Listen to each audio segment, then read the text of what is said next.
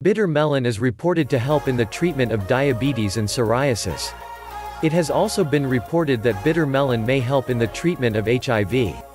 Bitter melon is the English name of Momordica charantia. Bitter melon is also known by the names karela and balsam pear. Bitter melon grows in tropical areas, including parts of East Africa, Asia, the Caribbean, and South America, where it is used as a food as well as a medicine. It is a green cucumber-shaped fruit with gourd-like bumps all over it. It looks like an ugly, light green cucumber. The fruit should be firm, like a cucumber. And it tastes very bitter.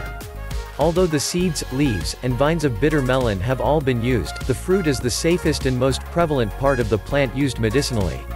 The leaves and fruit have both been used occasionally to make teas and beer, or to season soups in the Western world.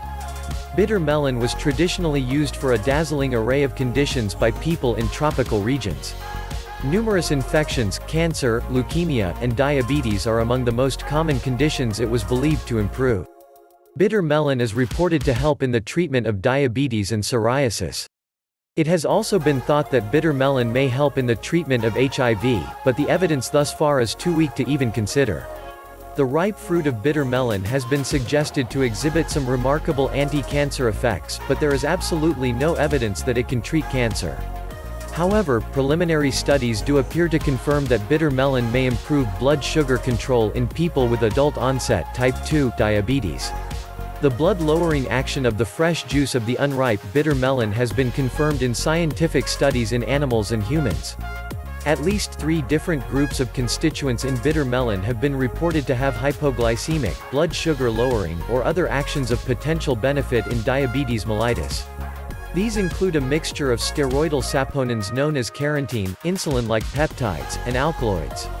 It is still unclear which of these is most effective or if all three work together. Nonetheless, bitter melon preparations have been shown to significantly improve glucose tolerance without increasing blood insulin levels, and to improve fasting blood glucose levels. Please don't forget to like and subscribe our channel and press bell icon for more video updates. Thank you.